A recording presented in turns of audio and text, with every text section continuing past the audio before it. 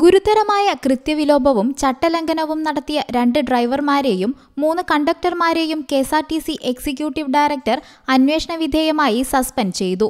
പയ്യന്നൂർ ഡിപ്പോയിലെ ഡ്രൈവറായ A U Uthaman Vellanad ഡിപ്പോയിലെ ഡ്രൈവറായ ജെ സുരേന്ദ്രൻ താമരശ്ശേരി ഡിപ്പോയിലെ കണ്ടക്ടറായ എ ടോണി തിരുവനന്തപുരം സിറ്റി ഡിപ്പോയിലെ കണ്ടക്ടറായ പി എസ് അഭിലാഷ് പാലക്കാട് ഡിപ്പോയിലെ കണ്ടക്ടറായ പി എം മുഹമ്മദ് സാലിഹ് എന്നിവരെയാണ് അന്വേഷണ വിധേയമായി സസ്പെൻഡ് ചെയ്തത്.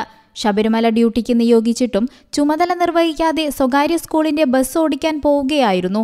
തുടർന്ന് നടത്തിയ അന്വേഷണത്തിന്റെ അടിസ്ഥാനത്തിലാണ് പയ്യന്നൂർ ഡിപ്പോയിലെ ഡ്രൈവറായ എ യു ഉത്തമനെ സസ്പെൻഡ് ചെയ്തത്. ഒരു ക്രിമിനൽ കേസുമായി ബന്ധപ്പെട്ട് പോലീസ് കസ്റ്റഡിയിലാവുകയും സ്ഥാപനത്തിന്റെ സൽപ്പേര് കളങ്കപ്പെടുത്തുകയും ചെയ്ത സംഭവത്തിലാണ് വെള്ളനാട് ഡിപ്പോയിലെ ഡ്രൈവറായ ജെ സുരേന്ദ്രനെ സസ്പെൻഡ് ചെയ്തത്. മാനുവൽ റാക്ക് ഉപയോഗിച്ച് ബസ്സിൽ സർവീസ് നടത്തവേ ക്രമക്കേട് നടത്തി പണാപഹരണം നടത്തിയതിനാണ് താമരശ്ശേരി ഡിപ്പോയിലെ കണ്ടക്ടറായ എ ടോണിയെ സസ്പെൻഡ് ചെയ്തത്. കൊച്ചുവേളിയിൽ നിന്നും കിഴക്കേ കോട്ടയിലേക്ക് സർവീസ് നടത്തവേ നാല് പേരിൽ നിന്നും യാത്രാക്കൂലി ഈടാക്കിയതിനു ശേഷം രണ്ടു പേർക്ക് മാത്രം ടിക്കറ്റ് നൽകുകയും രണ്ടു പേർക്ക് ടിക്കറ്റ് നൽകാതെ യാത്ര ചെയ്യാൻ അനുവദിക്കുകയും ചെയ്ത കുറ്റത്തിനാണ് തിരുവനന്തപുരം സിറ്റി ഡിപ്പോയിലെ കണ്ടക്ടറായ പി എസ് അഭിലാഷ് സസ്പെൻഡ് ചെയ്യപ്പെട്ടത്. കോയമ്പത്തൂർ കോതമംഗലം സർവീസ് നടത്തവേ ബസ്സിൽ പതിനേഴ് യാത്രക്കാർ മാത്രമുണ്ടായിരിക്കെ ഒരു യാത്രക്കാരന് ടിക്കറ്റ് നൽകാതിരിക്കുകയും സൗജന്യയാത്ര അനുവദിക്കുകയും കെ എസ് ആർ ടി സിക്ക് വരുമാന നഷ്ടമുണ്ടാക്കിയതായി അന്വേഷണത്തിൽ ബോധ്യപ്പെട്ടതിനാലാണ് പാലക്കാട് യൂണിറ്റിലെ പി എം മുഹമ്മദ് സാലിഹിനെ സസ്പെൻഡ് ചെയ്തത്.